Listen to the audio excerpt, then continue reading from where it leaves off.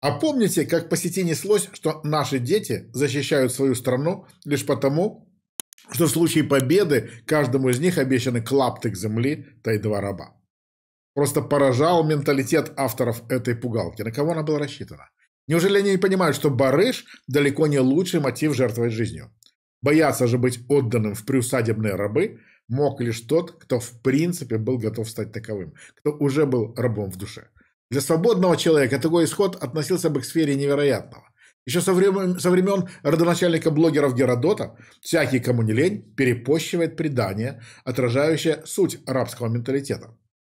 Как-то раз отправились скифы в дальний поход, да и подзадержались там.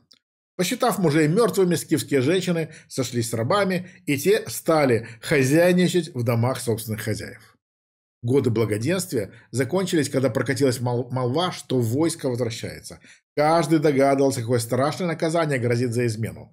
И тогда решили бывшие рабы защищаться. Они перекопали перешейк, ведущий на полуостров рвом, и насыпали там вал. С тех самых пор и стал перешейк этот называться перекопом. Одна за одной доблестно отбивали защитники атаки несокрушимой армии, пока некто не дал скифскому предводителю совет. Против кого мы воюем? Это же рабы. Не смерть их страшит, а плеть. Прятав свои мечи, воины взяли в руки хлысты, и лишь только рабы услышали щелканье кнутов, они, побросав оружие, в ужасе побежали во свояси. Свободного же человека плеть не пугает. Она лишь учит его еще более ценить свободу, даже если это самонаводящаяся гиперзвуковая плеть массового поражения. И тот, кто, привыкший править рабами, множит удары плетьми по свободным, добивается прямо противоположного эффекта. У меня в офисе на комоде немного сбоку лежит обломок Берлинской стены. Он – молчаливое напоминание, как всего за пять месяцев до ее падения Эрик Хоникер провозглашал «Стена простоит еще и 50 и 100 лет».